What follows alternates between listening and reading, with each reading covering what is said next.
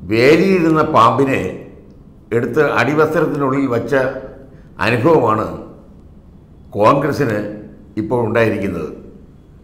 തിരഞ്ഞെടുപ്പ് തന്ത്രജ്ഞൻ എന്ന് എല്ലാവരും കൂടി ഉദ്ഘോഷിച്ച പ്രശാന്ത് ഭൂഷന്റെ കാര്യമാണ് ഇപ്പോൾ കോൺഗ്രസ്സിന് തലവേദനയായിരിക്കുന്നത്.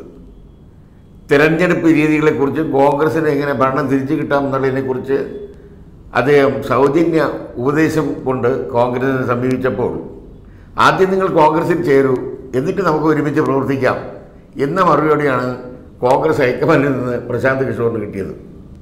അദ്ദേഹം അതുകൊണ്ട് അടങ്ങിയില്ല. അദ്ദേഹം ഇങ്ങനെ നടന്നപ്പോൾ പലരും വിളിച്ച് ചോദിച്ചു ഈ നമ്മുടെ ഉദയപൂരിലെ ശിബിരം നടക്കുകയാണല്ലോ? ചിന്തൻ ശിബിരം നടക്കുന്നു. അതിനെക്കുറിച്ച് അഭിപ്രായം അദ്ദേഹത്തോട് ചോദിച്ചു.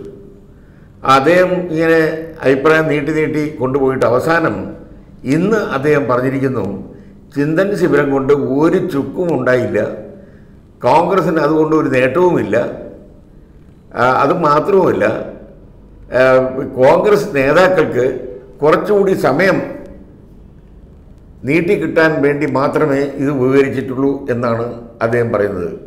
അത് അതിന് പറയാൻ കാരണം ഗുജറാത്തിലും ഹിമാചൽ പ്രദേശിലും അടുത്തു വരുന്ന തെരഞ്ഞെടുപ്പിൽ ഉണ്ടാകുന്ന പരാജയം കൂടി പ്രശാന്ത് കിഷോർ മുൻകൂട്ടി കണ്ടിരിക്കുന്നു.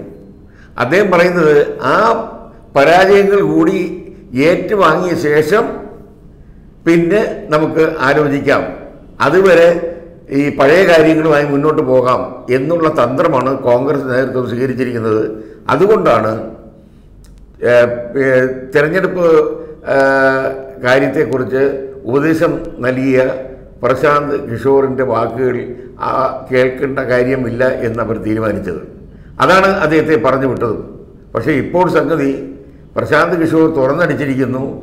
ചിന്തന ശിബിരം കൊണ്ട് യാതൊരു പ്രയോജനമില്ലെന്നും വെറുതെ സമയം പോകാൻ വേണ്ടി മാത്രം ഉദയപൂരിൽ സമ്മേളിച്ചതാണെന്നും ആണ് അദ്ദേഹം പറയുന്നത്. അപ്പോൾ കെട്ടിയൊഴിച്ച് കൊണ്ട് നടന്ന പ്രശാന്ത് കിഷോറും കോൺഗ്രസിനെ കൈവിട്ടിരിക്കുന്നു എന്നാണ് അതിൽ നിന്ന് നമ്മൾ മനസ്സിലാക്കേണ്ടത്.